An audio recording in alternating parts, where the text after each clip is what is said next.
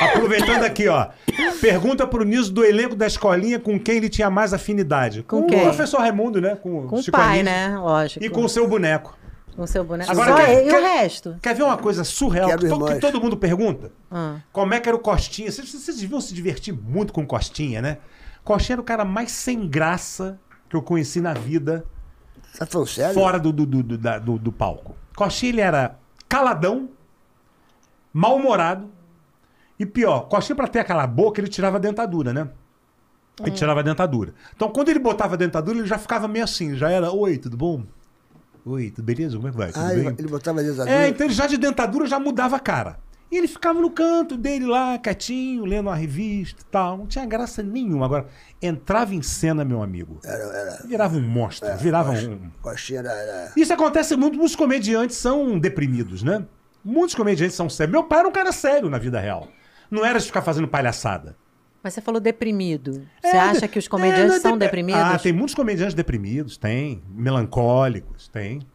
E tem que sim. buscam o humor Exatamente. poder sobreviver. Não, no nosso meio só tem maluco, né? É. No meio artista só tem maluco que sublima o- o- a loucura pra, através da arte. Né? Ó, tem, tem, um, tem um comentário aqui do, do Walter de Souza, tá falando que o Paulo Cintura, quando esteve aqui, ele, ele, ele sentou o cacete do Bruno Mazeu. Você soube isso aqui? Ele ainda tá com esse discurso? É. Mas por que, que ele fe- fez isso? não sei. Nem sei. Quanto tempo ele disso. teve aqui? Ele teve aqui. Os três, Três meses? É, três meses, é. Mas esse negócio da escolinha, com- a escolinha já acabou há dois anos. É, eu não ele sei. ainda tá com esse papo? É, ele, ele, ele falou aqui. de- de- É. Caralho, O velho. que, que, é- que, que foi isso aí? Cara, primeiro o Bruno não tem nada a ver com a escalação da escolinha. Tem que estar tem que tá puto com o Ricardo Osdo, porque não botaram o personagem dele, é isso? É, não, não. Ele, ele, ele, ele, ele, Porque reproduziram. porque reproduziram e não, e não, e não reproduziu, reproduziram e não deram e, não pagaram. Não foi isso que ele defendeu O Bruno não essa. tem nada a ver com isso, cara. É, o Bruno, coitado. Bruno foi um ator ali. O Bruno, eu, eu escrevi as três primeiras temporadas né, da, da Escolinha Nova.